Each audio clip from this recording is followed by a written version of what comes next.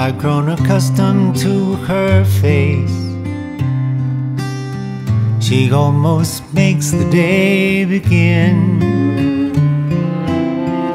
I've grown accustomed to the tune. She whistles night and noon.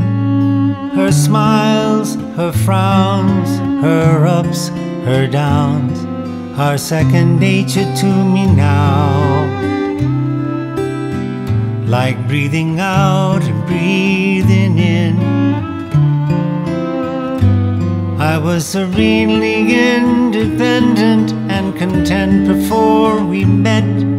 Surely I could always be that way again, and yet I've grown accustomed to her look, accustomed to her voice, accustomed to her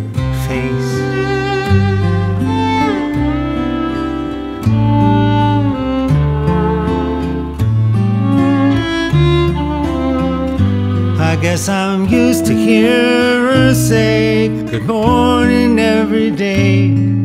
Her joys, her woes, her highs, her lows, they're second nature to me now. Like breathing out, breathing in. I'm very grateful she's a woman and so easy to forget.